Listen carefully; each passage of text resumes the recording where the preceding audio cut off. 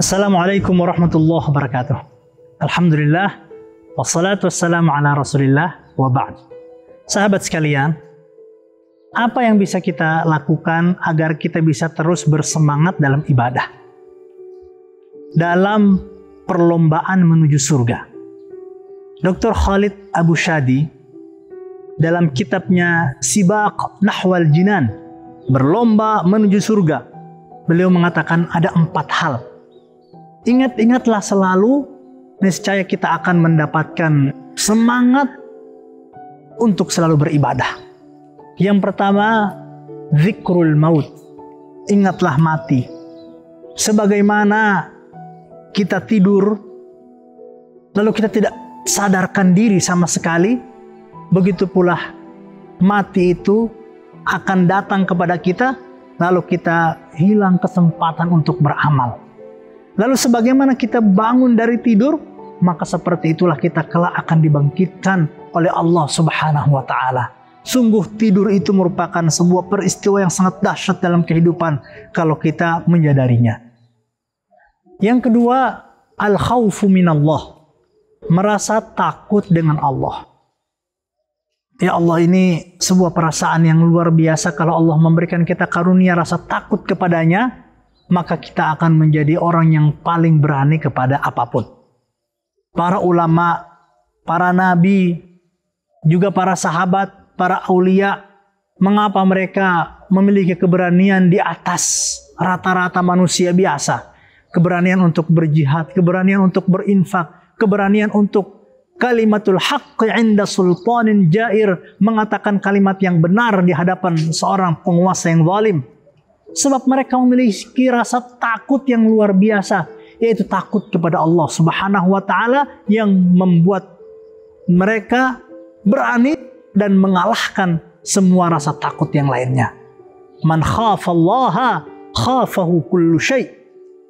Siapa yang takut kepada Allah, maka segala sesuatu akan takut kepadanya. Wa man lam yakhafillah Sementara siapa yang tidak takut kepada Allah, min kulli syai, dia akan takut dengan segalanya.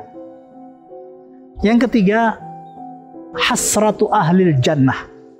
Agar kita bersemangat dalam beribadah, dalam melakukan kebaikan, ingat-ingatlah tentang penyesalan ahli surga. Para penduduk surga, walaupun mereka sudah masuk di dalam surga, ada saat-saatnya mereka menyesal Kenapa? Karena ada detik-detik waktu dalam kehidupan mereka, mereka tidak lakukan, mereka tidak isi dengan kebaikan. Kata Ibnul Jauzi bahwa an-nafas khizanah. Bahwa nafas-nafas kita itu seperti lemari penyimpanan atau kotak-kotak penyimpanan. Kita akan menyesal saat kita buka kotak itu di hari kiamat dan ternyata dia tidak berisi apa-apa. Maka Isilah itu dengan kebaikan sehingga kita bisa memanfaatkan waktu kita dengan sebaik-baiknya. Dan yang keempat, khamsiyatus sahabah. Lima amalan andalan utama para sahabat, generasi terbaik. Seperti kata Imam Al-Auza'i. Apa lima amalan terbaik itu? Luzumul jamaah, selalu tetap berada dalam jamaah kaum muslimin.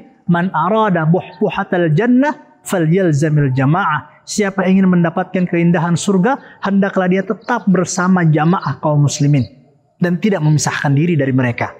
Yang kedua, ittiba'us sunnah. Mengikuti tradisi dan kebiasaan Rasulullah.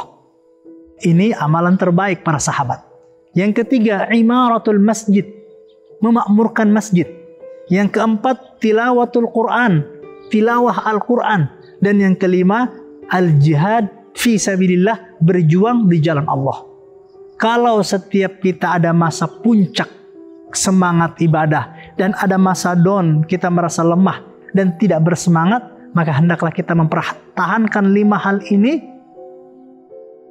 Turun turun turun turun.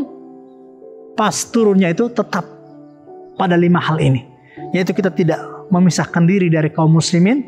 Kita senantiasa mengikuti sunnah Rasulullah, kita senantiasa memakmurkan masjid, kita senantiasa tilawah Al-Quran, dan kita senantiasa berusaha untuk berjuang berjihad di jalan Allah dengan segenap maknanya yang sangat luas.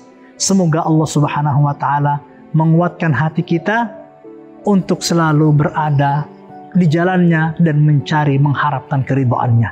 Demikian, semoga ada manfaatnya. Assalamualaikum warahmatullahi wabarakatuh.